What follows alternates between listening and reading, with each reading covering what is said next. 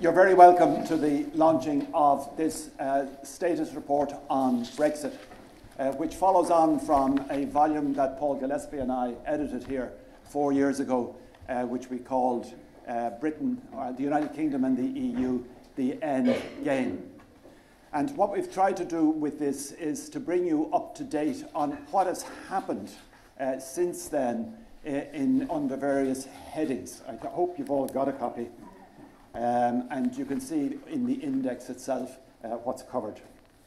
Um, the book is edited by Paul Gillespie uh, and by Andrew Gilmore uh, and myself.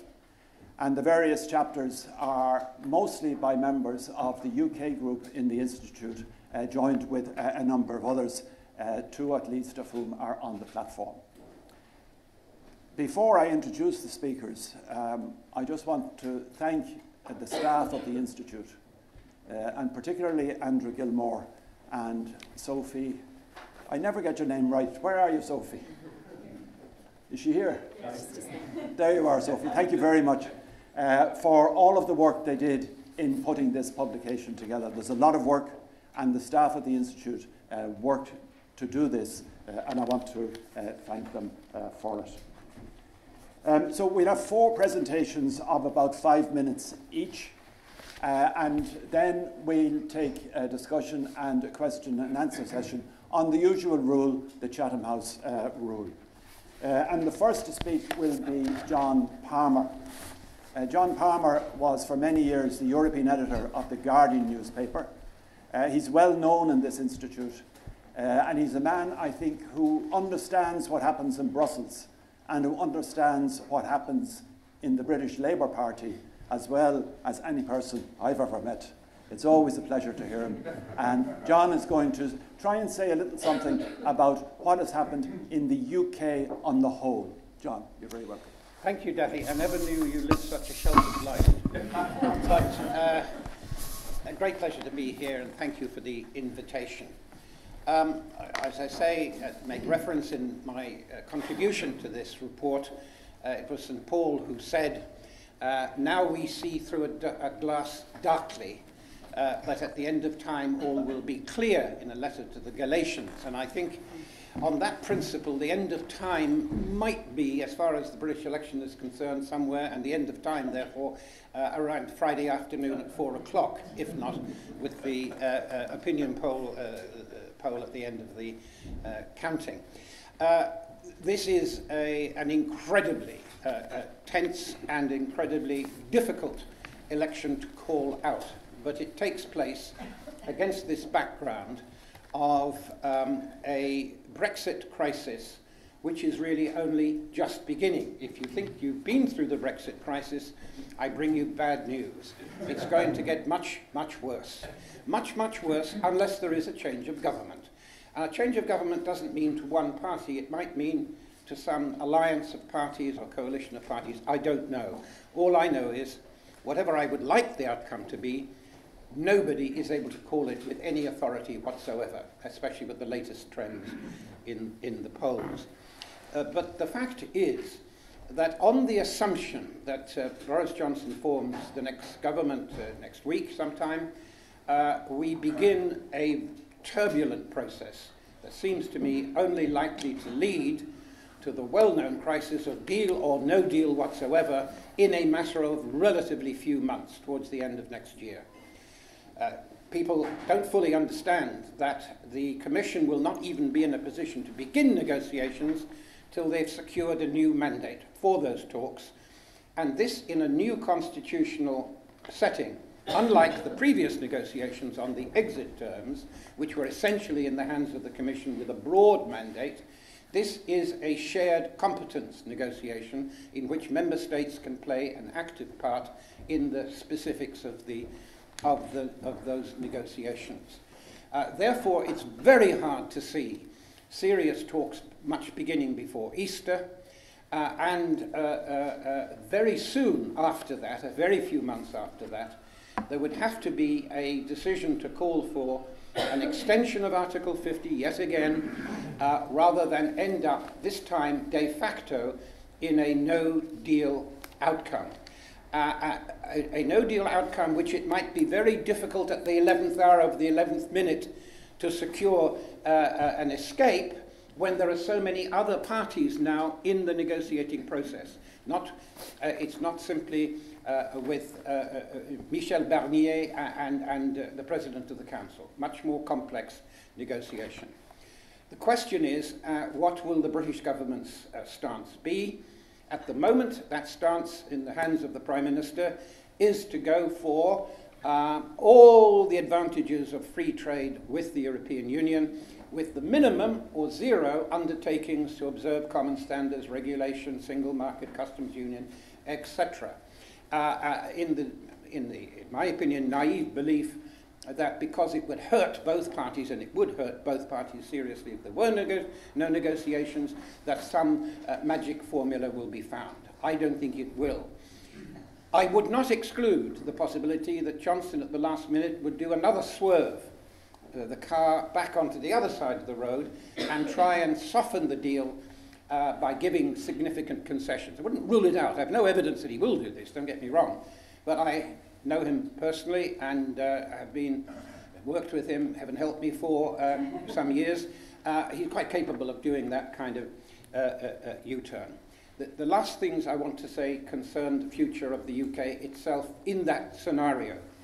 Firstly, I think we could expect, if there is a Johnson victory, the Scottish situation to rise to red-hot temperature with a demand for an early uh, uh, referendum on Scottish independence, as opposed to if there were to be a minority government, it's very clear from what the SNP are saying, they would go for a formula of looking favourably at the idea of a referendum after a period of some years, after some passage of time.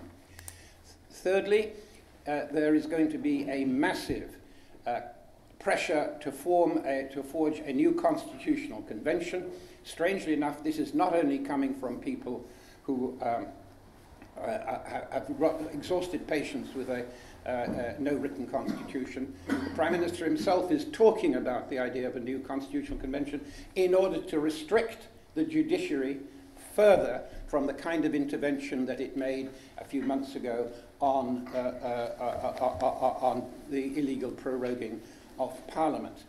Thirdly, there is now, uh, believe it or not, uh, a, serious opinion poll putting support in Wales for independence, independence at 30%, roughly speaking, which has not been seen, I don't know since when. And fourthly, there is a huge pressure from the big cities in England to push through a re-equilibration and a recasting of the power relationships and the decision-making relationships within England itself. As far as uh, Northern Ireland is concerned, it could be, I don't exclude this, I, have stopped predicting anything as far as election results are concerned. If it's really tight, really tight, it could be that two or three new members of parliament from the, from the north of Ireland who are willing to take their seats swing the balance. It, it carries on those tiny, or could carry on those tiny uh, margins. So uh, I think, uh, in one sentence to conclude, it's going to be a very rough ride. Uh, I think that the European Union will endeavour to uh, find a solution that keeps Britain more or less consistent with key social, uh, environmental, trading relations. I fear they will not succeed in that endeavour, even if the Prime Minister himself were personally minded to do so at the end of the day. Thank you very much, uh, John. Uh, our next speaker is Paul Gillespie. Paul is a member of the UK group in the Institute. He's also a director of the Constitutional Futures uh, after Brexit uh, group in the British Irish Studies section in University College Dublin. And of course, he's a former foreign editor of the Irish Times. Uh, Paul's going to talk to us about Scotland. Thank you very much. Um, the chapter is entitled Between Two Unions, uh, between the European Union and the United Kingdom. And Scotland faces a fateful choice uh, in, the, in coming years, uh, which may be indeed accelerated, as John was suggesting, uh, during this time. Uh, Sturgeon uh, made an interesting, straightforward remark about the election that she said it was Scotland's chance to escape Brexit and put our own future in our own hands. And that's putting it, it very clearly. And that linkage is what we've described in several of the studies we've done in the UK group, is that the UK is facing uh, in this fateful time a dual sovereignty crisis, which has its external uh, aspects vis-à-vis the European Union and its internal aspects vis-à-vis the very future of its own union. And so the Scottish, uh, the Scottish issue is a real swing issue in the middle of that. We quote in, in the chapter Tom Devine, very well known uh, Scottish historian, who makes the remark about the UK's own future uh, that its, its, fate, its fate will be determined by what's happening in England, and that when uh, he, he also refers to uh, another uh, well-known analyst in Scotland, Michael Keating, who says that such unions break up not from the peripheries, but from the centres. And it's very important, therefore, to examine, including obviously from an Irish point of view, um, the uh, what is happening in this union, in, in, in our next door neighbour and on our island, um, and to think prudentially and in an anticipatory way and in terms of preparedness about what might happen. And in Scotland, um, the uh, polling evidence shows that after the referendum on the EU in 2016, there's been a slow but steady shift uh, in, in, in attitudes uh, towards independence from around the mid 40s towards 50 plus in favour of independence. And if you analyse this in terms of age, you find that something like 25% of people over 65 are in favour of independence, uh, but it's very, very different amongst younger age groups uh, where it's, it's predominantly uh, uh, the, the, the drift is there. When you ask Scottish people what they expect, 70% of them expect Scottish independence uh, in, in, in the near to middling uh, term. Um, the, um, uh, and you can play with these figures and analyze them, but that steady drift is there. It's, it's interesting looking at, if you like, the psychology of the Scottish and this, and the way the SNP has managed this. They've played a medium to longer term game. It's, it may, some things may accelerate, uh, but they, uh, they believe that they're in a position to make this demand for an independence poll and to see it delivered on. And of course, as John was saying, the bargaining will go one of two ways. Uh, if it goes uh, uh, towards a, a conservative led government, uh, we see an acceleration of the pace and uh, of, the, of the radicalism uh, of this issue, and an awful lot will turn on how hard or soft the Brexit turns out to be. The problem, of course, there, the harder the outcome, the more uh, the uh, surge towards an independence vote, uh, the harder the border potentially between an, an independent Scotland uh, and England might be. So it mirrors and reproduces some of the issues we've had in Ireland. Um, in the work we've done in, in um, in UCD, in this project of constitutional futures, we've produced a, a brochure on it, which uh, is available also online. We've talked about two major drivers of change uh, in, in, in, in, the internal arrangements of the UK. The first is that issue of the harder or softer Brexit, the whether or not policy in the, in the UK uh, converges with the, um, with the EU regulatory system or diverges from it. Uh, and that's still the major issue driving uh, uh, uh, policy making as we see it. Uh, the second, though, is the extent of the centralisation of power uh, within the UK, uh, whether it's, and the effect of Brexit on that. And there's been a, a, a recentralising effect, very marked one, uh, coming through the Brexit crisis. And uh, John's reference there to the uh, item in the Conservative manifesto saying that you want to look at the judicial review issues and indeed look at in, in a wider setting would tend to reinforce that. The so called Henry VIII powers that are uh, being invoked in dealing with trade arrangements and in dealing also with the question of where you locate uh, decisions about, about Brexit within the UK system bear that out. So if you combine these, as we've done uh, in, a, in, a, in a mapping exercise uh, in, in our project on constitution futures, drawing on the work we've done in, in, this, um, uh, in this institute, we've come up with a mapping of four potential outcomes constitutionally uh, within the UK. And they range from the most radical, the two most radical, the first of which is breakup, uh, by way of Scottish independence and by way of major constitutional change potentially in, Ireland, with a knock-on effect to Wales uh, um, if, if it goes that way. That's the one, perhaps the, you could say, the most radical outcome.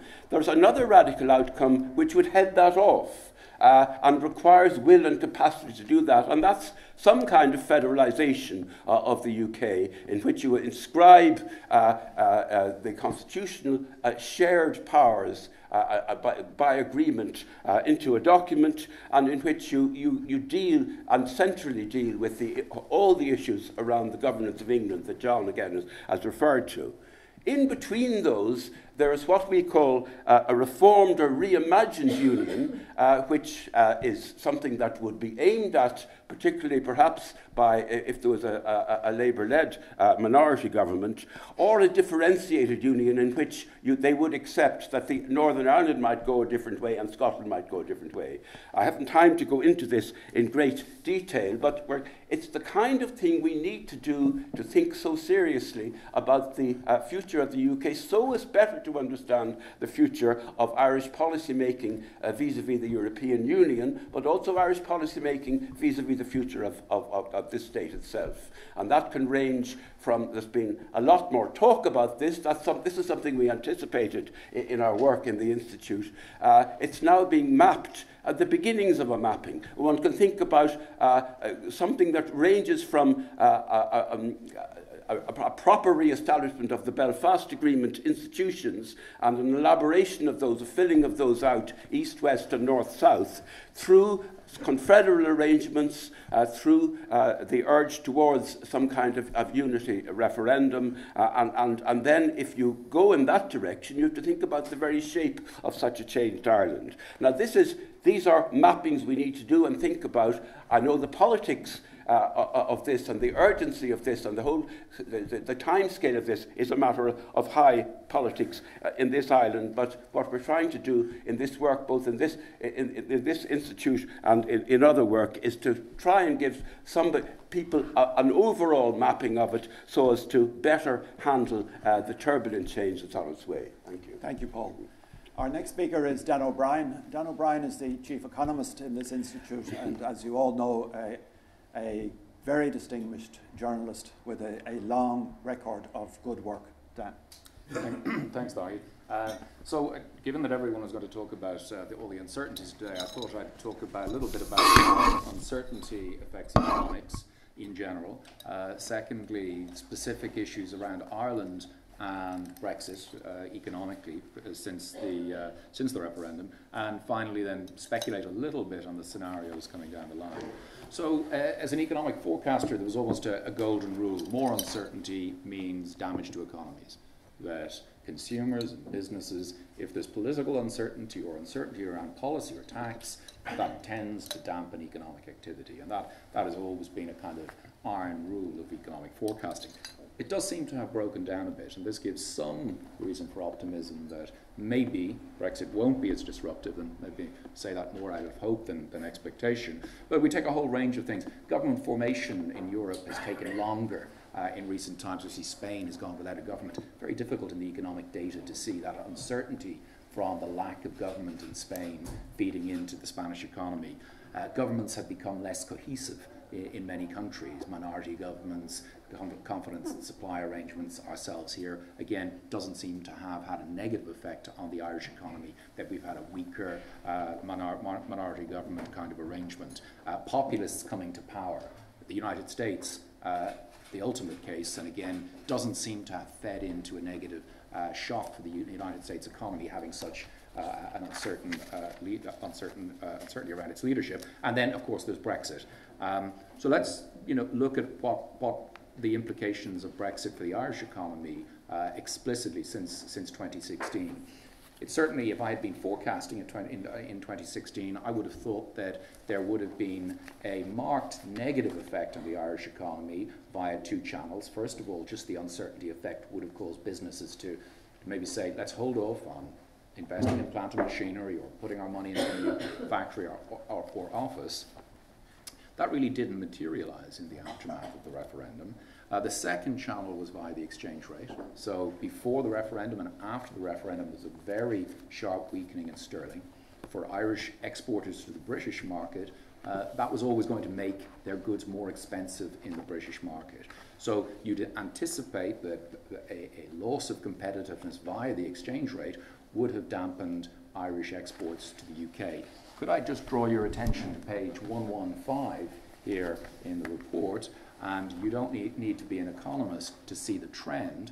Irish exports of goods and services to the UK over the past 15 years, uh, you'll see the trend line there. And look at 2016. Very difficult to see any sort of inflection point around the referendum, around that period of uh, exchange rate depreciation, sterling depreciation. So it seems to be, have been very little impact or discernible income impact uh, for Ireland, for Irish exporters into the UK market around that period. Uh, so again, maybe reason for hope that if there is a further de depreciation of sterling in the times ahead, that it may, that exporters may uh, be, be, able to, to, weather that and manage that. Finally, to just build on some of the, uh, particularly John's, um, uh, John's scenarios, um, from an Irish perspective, there seems to me to be four scenarios. Uh, two under a Labour-led administration uh, and two under a Conservative-led uh, administration. Let me put these in order of disruption for the Irish economy. So a Labour-led administration that puts a New Deal to a referendum and the British people reverse the decision, there's no Brexit. Clearly the least disruptive of the possible outcomes. Labour-led administration negotiates another deal with the EU, uh, probably involving a customs union. Again, that will be a lot less disruptive than the current uh, uh proposed arrangement.